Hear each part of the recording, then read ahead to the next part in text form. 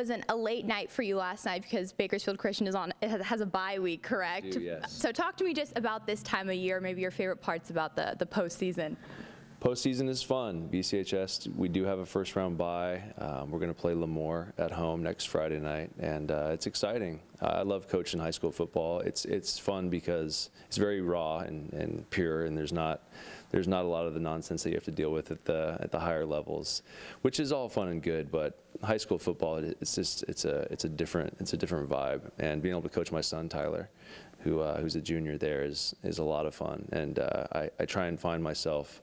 Um, well, there's a balance. Do I get my son the football, or do I try and win the game? And it's uh, it's a it's a struggle within every week, but we're going to try and win some football games. So get the ball if you can. And how is that dynamic now? Because obviously it was a family affair before, but now having your son there as well, is there there's some tension now, more at practice than before? Yeah, I I feel like, and people used to always tell me that you're going to be really hard on your son, like probably harder on him than anyone else. And I do find myself yelling at him a lot. And uh, I kind of do it tongue in cheek, and I got a smile on my face most, most of the time. But I kind of use him as a guinea pig because I'm not a guy that is going to really yell and scream at kids. I don't think that's very productive. I think if you can, if you can't teach them, if they don't get it, it's your fault. So you got to teach them something else. Um, but I will yell at my son and kind of smiling, and so people will see that I'm actually serious. I'm not like, oh, this guy just has too much fun all the time, because I, I am pretty loose. And uh, thank God Darren is the head coach, because I don't know if I would have uh, a strong enough hand to uh, to keep these guys in line. But I do use Tyler as a guinea pig to yell at him to make sure the other guys know I'm serious. So it's fun.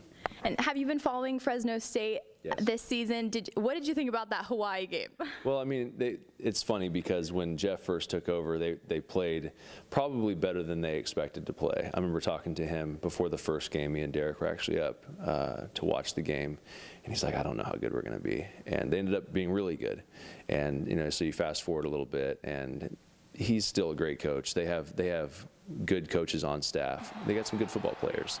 Maybe they don't have guys with as much experience they've had in the past. Um, anytime you lose a guy like Marcus, it's difficult to replace. Marcus is a great leader, and I've gotten to know him a little bit over the last year or so.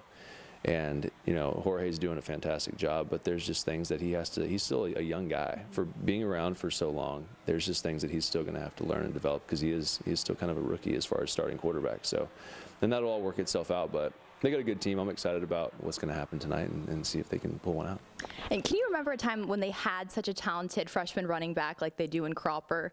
No, not, no, no, I can't. I mean, I know that, uh, you know, when I played, there was, you know, Michael Pittman was there. I remember I first walked into the, the weight room as a freshman, and I saw Michael Pittman working out, and he was doing arm curls, and I said, I can't play here. There's, there's no way I can. This guy's arms are as big as my thighs. I can't play football in college, and uh, he was the first guy I saw.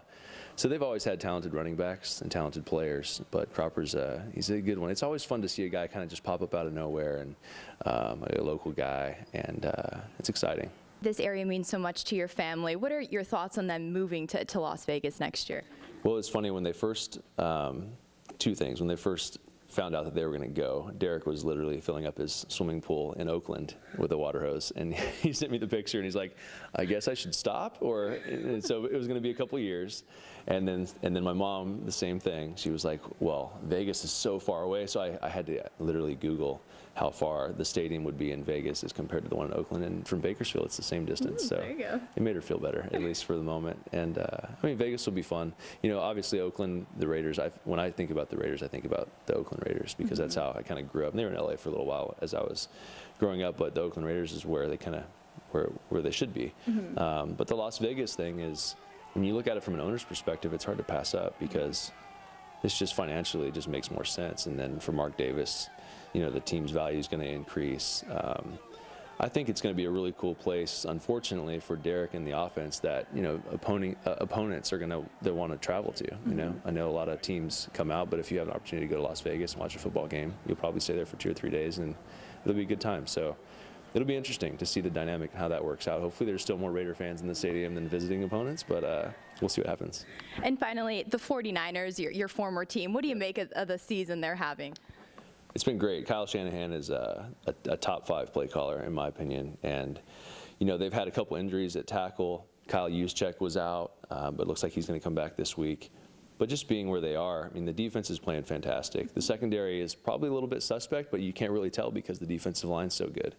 Uh, guys like Bosa, I mean, talk about young players stepping up and making plays. That guy's been fantastic. So the pressure they're able to put on opposing quarterbacks is is pretty special. It's pretty rare.